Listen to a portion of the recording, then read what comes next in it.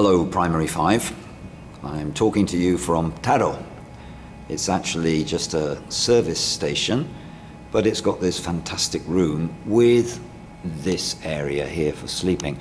By the way, this is called a tatami mat, and it's made, I guess, from some kind of straw, maybe rice straw or something like that.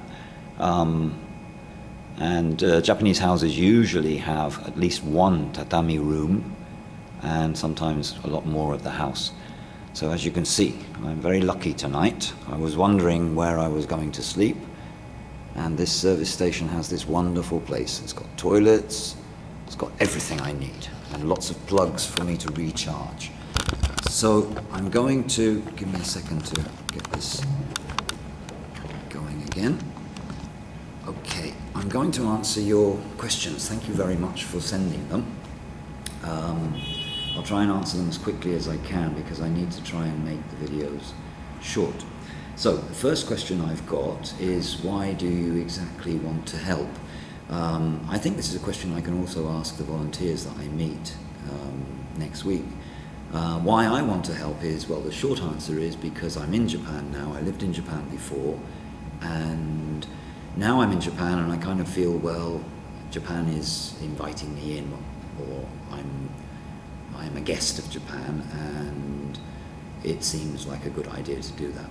Originally, I just wanted to do a cycle, um, a trip from the north of Japan to the south of Japan because I've had an ambition to do that for a long time.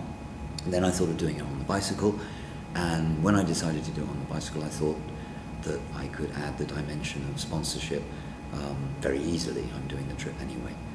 Um, second question, how far do you travel by bike every day? Um, well, I'm not super fit, and I'm gradually trying to raise the, the number of kilometres every day. I had a lot of, of problems with typhoons um, in the last three weeks, and I've been stopped more days than I want. Um, I tried to do a minimum of 40 kilometres and between 40 and 60, and I hope that that will, will go up as my legs get stronger. Um, the next question is one is can Europeans adopt parentless Japanese children? I will ask that question when I get to see um, the Smile Kids Living Dreams people, which will be um, in about five, six days. Um, I think that's a question to ask them. Uh, where do the survivors live? Um, again, this is a question that I will ask when I get to see All Hands, which is the next organisation that I'm going to be seeing in a couple of days. Um, they are a volunteer organisation working in a place called Ofunato, and I think they'll probably be able to answer that question a lot better than me. I've only just entered into the region where the tsunamis hit, and I haven't really been in the strongest affected area yet, so I, I'm still going to see all, all aspects related to the tsunami I've yet to really witness. Um, what are the names of the other NGOs that you're going to help? Well, this information is on my website, the face www.thefaceofcircumstance.com, and you can always log in. I think you can go through the school website. There's a link in there. There's an article um, or, or, part of the website there, and, and, there's a link there that takes you to the to the website. But um, the four organisations are All Hands in Ofunato, which is about 70 km, 80 kilometres down the coast. Um, they are an American organisation. Most of the volunteers are, are, are, foreign, not, not Americans necessarily, but most of them are foreign volunteers. Um, then I'm going to go to see to an orphanage in a place called Kesennuma, um, and that is uh, organised by uh, an organisation called Smile Kids Japan Living Dreams, um, and the project is called Help Tohoku Kids. They're going to organise an orphanage visit for me, and they're suggesting that I should then sponsor that orphanage individually rather than sponsor the organisation as a whole. Uh, the next organisation that I'm going to be seeing is one based in a place called Minami Sanriku, which is also not far away. All the four organisations are in a quite short area because the tsunami affected uh, short area. Um, the organisation in Minami Sanriku is called OGA for Aid, Um, they're doing a similar job to All Hands, um, but they're just focusing their attention on this one on this one village, Minami Sanriku. And the last organization I'm going to see is a Japanese organization called Peace Boat. Okay, um, when is your trip going? When your trip? When your trip? When is your trip going to, to end? Are you heading back to Spain? Um, I hope to finish by early December or mid-December. Um, I've still got a long way to go, and I hope I'm not held up by any more typhoons.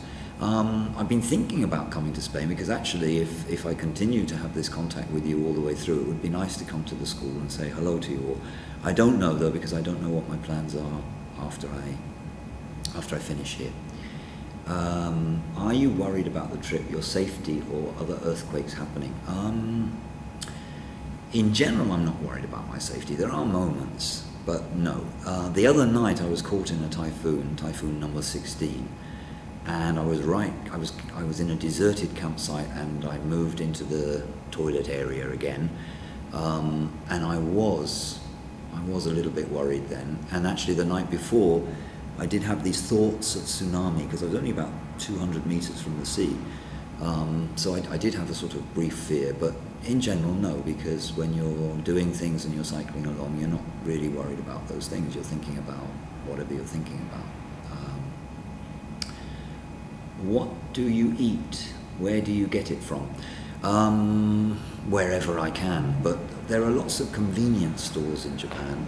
Um, they call them convenies, and they're they're all over the place. So usually I can get food from the conveni.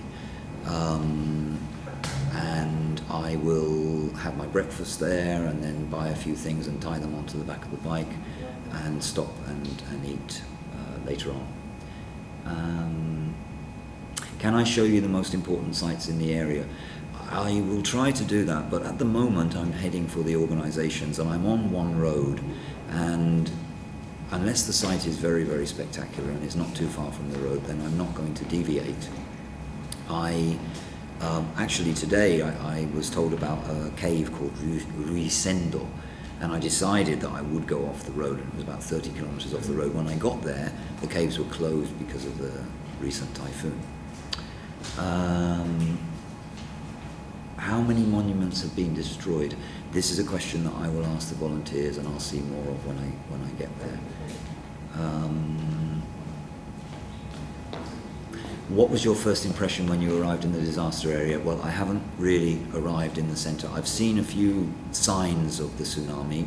There's a lot of rebuilding work going on along the coast that I've traveled in, but I haven't really come to the central impact area yet. So that's a question that I'll be able to answer later on. Um, what is the most horrible thing you've seen up to now? Again, this is a question I think it's better to ask the volunteers and not me. Um, I haven't seen anything horrible so far, but I have heard stories of volunteers who have been clearing up and come across dead bodies, for example. But I'll ask that question later on. Okay, well, um, I hope I've answered your questions. If you want to follow up or anything, please just send me an email. So, good night from Taro. Bye bye.